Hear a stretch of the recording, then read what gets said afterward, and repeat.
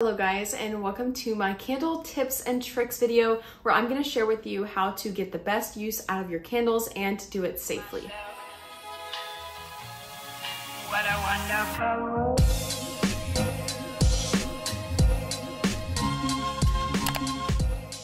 So in today's video, I'm gonna break it up into a few parts. First, I'm gonna go into my tips, and then I'm gonna give you guys some ideas on any sort of tools that you're gonna need for candle burning, and a little overview of the terms. If you're new to the candle community, there is a lot of like terms that they use, so I'll kind of give you a little breakdown of those, but let's get started. So first, I'm gonna give you guys my general rule for candle burning, and this is the reason why I, as a child, was not allowed to burn candles in my house because I just couldn't be responsible enough for it. So just a tip, and please keep this in mind to only burn candles when you are home and when you can pay attention to them and make sure that they are away from pets and children because we don't want anyone getting burned or causing fires or things like that. So please just make sure that you're safe because again, this is an open flame.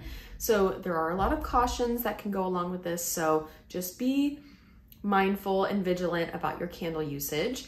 But for me personally, I do have a dog and he is about the size of a lab. So I am totally fine to burn candles around him, even on like lower um, tables. He doesn't show any interest in them whatsoever. But when we're dog sitting, his sister from the same litter has a very long tail and her tail can sometimes hit the candles. So whenever she's over, I have to make sure to put the candles on a higher um, surface. So just be mindful of things like that.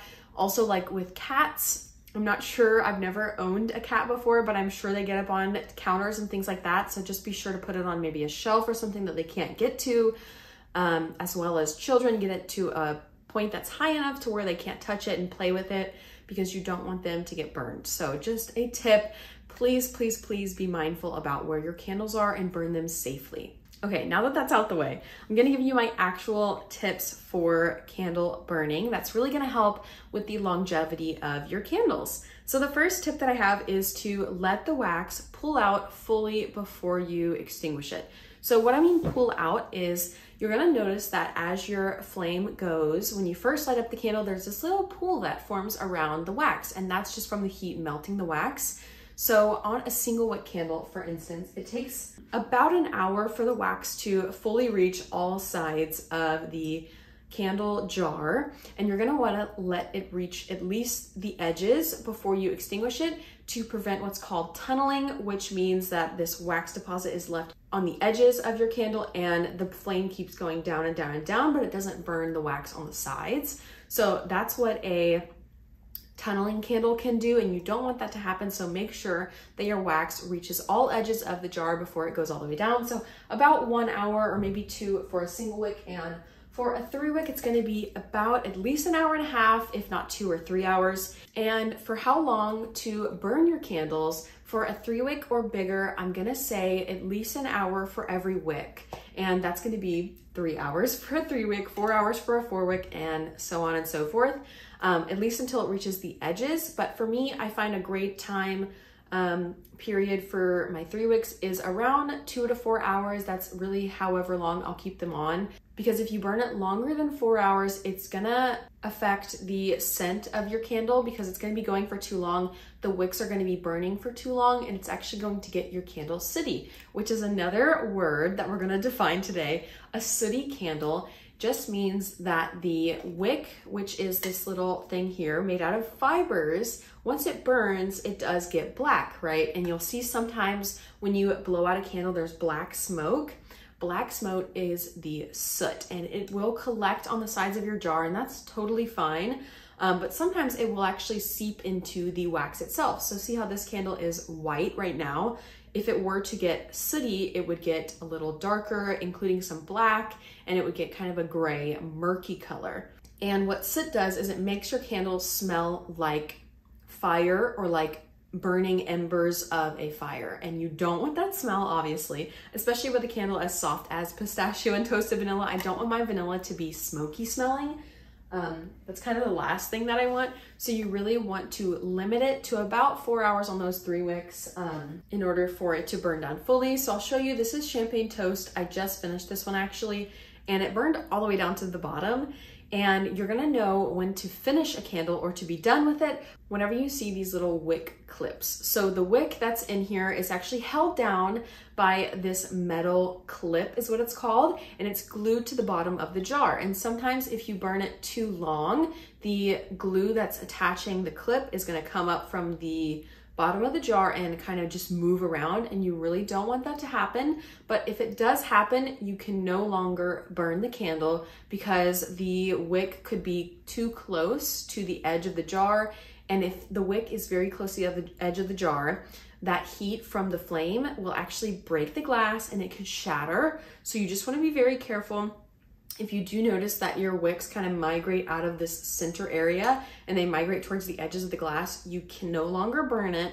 Um, please be very careful about that because if that does happen, it can explode across the room and hot wax goes everywhere and it's just a mess and it's also a hazard. So just be very careful about that if your wicks do migrate. Now, another thing I wanna talk about is how to extinguish the flame. So yes, you finished burning your candle and you want to blow it out or whatever. So yes, you could blow it out. That's honestly not my preferred method because sometimes it's hard to blow out. The smoke gets everywhere and I end up blowing hot wax somewhere. So I actually prefer to just stick the candle on top of it very loosely and let it extinguish itself because if there's no more oxygen going to the flames, it's gonna just go ahead and putter out but just be mindful to put on the lid very lightly and not suction cup it to there because it could actually deprive the candle of oxygen and then your lid will get stuck. I've had that happen before. So just be careful to only stick it on there very lightly and not push down and the um, wick will just extinguish itself. So you could also get what's called little wick dip dippers. I don't have those because I don't really prefer to do that kind of candle method. I feel like it's a little unnecessary, but if you want to, you can get a little wick dipper. It's kind of like a tweezer and you just stick the wick into the wax to extinguish itself, basically covering it in the wax so that it can no longer be flaming. And they also have what's called a snuffer. I've actually only ever seen candle snuffers used like in church services, honestly. Um, but I feel like the candle snuffer would probably just be the same thing as blowing it out and kind of smoke gets everywhere. So I don't really prefer that. I don't own a candle snuffer, so I don't really recommend that. But that's another method you could do. And the last thing that I have for a tip is where you're going to burn your candle does matter. So on things like wood furniture, I would not just simply put the candle on the furniture and burn it because once it does get down pretty low, it gets very, very hot on the bottom of this candle and it can actually warp your furniture if it's wood or if it's painted. Um, it can warp the paint, it can warp the wood. I've had it happen before, so I really don't recommend it. So in that case, you're gonna wanna get yourself some sort of candle holder. I have mine that I got from Bath & Body Works, but they sell them at like Target, Walmart, wherever. But I definitely recommend getting a candle holder if you have a wood surface because I wouldn't want to burn it directly on wood. But if you do have like a kitchen counter made out of granite, totally fine to burn it right on the granite. And some people like to take the lid and just sit it on the lid and put that on their wood furniture. But as you guys know, I like to extinguish my candle with the lid, so I don't like to do that. But that is an option to do that if you don't own a candle holder. So that's it for my tips. Now I do have a few little accessories that I'm gonna go through really quickly for you guys. Number one is a lighter. So I currently just use a regular Bic lighter and this is actually for like lighting charcoal to light a grill. But I like that this has a long tip so I don't actually have to touch the flame because I find if you use those little 99 cent lighters, you're really, really close to the flame and it can burn you. So this is a nice length. It's about, you know, four or five inches away from your hand. So you're not burning yourself. So I definitely recommend getting yourself one of these. They also make electric ones. I've had electric lighters in the past. One, I don't like the sound that they make. They make a very high squeaking sound. And two, Mine didn't really last long. It lasted like three months. And even with recharging it, it just wouldn't light anymore. So I find it's kind of a waste of money when this could last me the same amount of time. And number two, what I recommend is what's called a wick trimmer. Now, you're definitely gonna wanna trim your wicks. And that's another big tip that I have is to trim your wicks every time you burn it or at least every time you see what's called a mushroom top. So wick trimmers, you can get these off of Amazon. They're about like six bucks on Amazon. You can also find them in Target and Walmart and any kind of random any um, like homeware store, they usually have these wick trimmers, probably in like home goods and stuff too. but this is really good because your wick can grow over and it can actually mushroom out, which I'll show you a close up of what a mushroom top looks like. And you're gonna wanna trim that because if you do light a mushroom top, it actually sparks and um, the wick will fly off and you don't want that to happen and accidentally hit you or burn somebody. It also kind of just makes a mess with the, um, the burnt part of the wick is black and it'll get everywhere if you try to wipe it. So just a word of the wise, please trim your wicks. It also helps with the longevity and helps them not to smell sooty. So trim your wicks pretty much every time you can. And also if you have a brand new candle, you're definitely gonna wanna trim the wicks before you use them because they leave them pretty long. This one is about one and a quarter inch long and you really only want it at most like a half an inch long. So you're definitely gonna wanna cut those before you use them for the first time. The next candle accessory we're gonna talk about is a candle crock. So I have this from Amazon and a candle crock is basically something that you can put your candle into and instead of lighting up the candle, you'll burn the wax by heating it up from the bottom. So you'll see right here, there's a little caution sign because this bottom part is the hot plate. It's basically a hot plate. Um, and this is a ceramic instrument to hold your candle in. So I could do a single wick in here if I wanted, it definitely fits. And I could also do a three wick in here if I wanted to as well. And Crocks for me, honestly, I haven't used it since I moved into an apartment, but in a home, it works really well to make your candle just super strong smelling. Um, but I haven't found that I needed it in my um, apartment just because it's so much smaller. But it really helps with that. It also helps with your candle if it's a very weak thrower, which another word that we're gonna learn today is called throw. And that's what candle people use to describe the um, strength of a candle. So if it smells really, really strong or it smells really, really light. So usually we'll talk about strength of throw and that's low, medium, or high strength. So a really strong candle, for example, is like mahogany teak wood from Bath & Body Works. That one smells super strong. It'll fill up multiple rooms in a house. It is a super high thrower.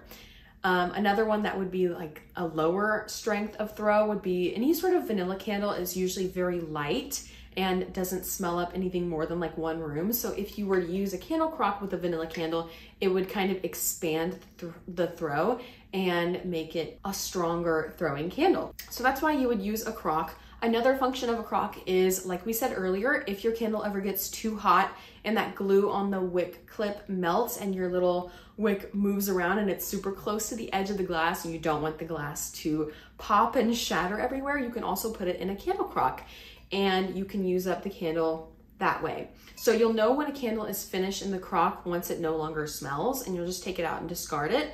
Um, but once you do put a candle in the crock, you cannot light it ever again. So just keep that in mind. You cannot light a candle once you put it in the crock because since we are heating up the candle from the bottom, it's gonna loosen that glue and the wick's gonna move around. So you really can only use these um, as a last resort if either your wicks are already moved or your candle is super, super low in strength and you want it to be very high.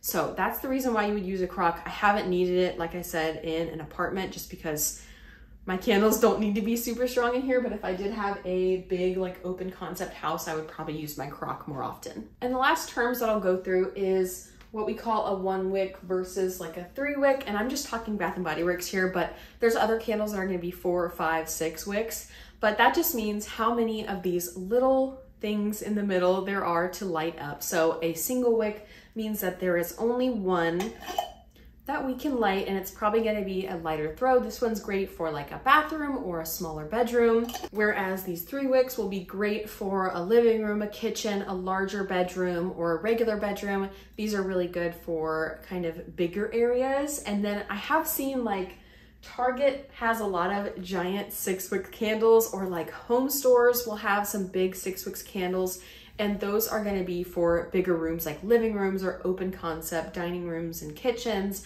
So that's what we talk about when we talk about the one wick, three wick, six wick. It just means how many of them there are and how big the candle is. Okay, so that's everything for my candle tips and tricks video. I hope that was useful for you guys. I hope you can come back to this too if you need like a refresher on things or if you're having problems. But yeah, that is everything that I have to share with you guys today. Let me know down below if you have any tips that I have not mentioned so you can share them with our audience and they can hear what you guys have to say too. So that's everything for today's video. I hope you guys enjoyed. If you did, don't forget to like, comment, and subscribe down below, and I will see you all in my next video. Bye!